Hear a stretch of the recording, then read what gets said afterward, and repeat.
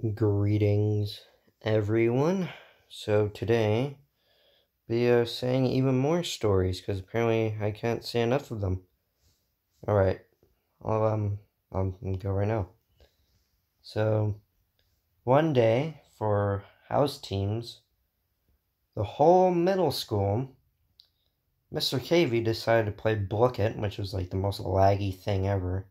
Book is pretty much just Kahoot and I, uh, I named myself Red KV Bald because we needed to put our house team color, but we needed to also put our homeroom and real name, but I didn't do that. And funny enough, I got first place. I think it was either first place or second place. Mr. KV said, um, he, he looks so, uh, looks so um I, I can't even describe. He looks just so confused.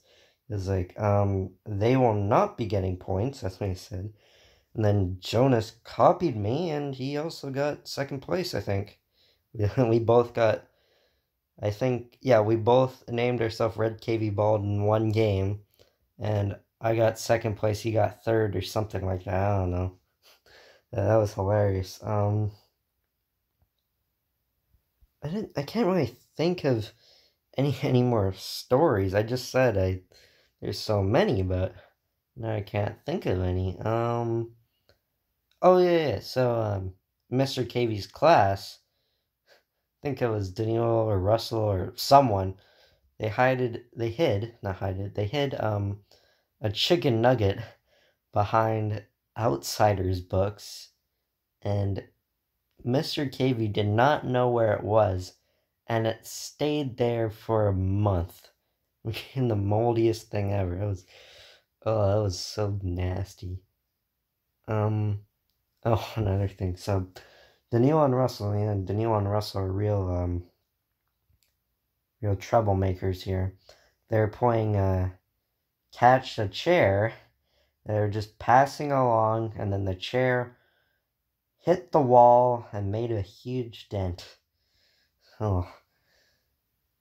Oh no. Oh. I just I just thought of one. Some uh yeah, the grade nines. We went to the beach one day. Different beach than the high school beach. No, not grade nines, grade eight, sorry. Grade eights. Um, me and Jonas, we made this sandcastle and it was um it was a defeater. Some people will get that, some people will not.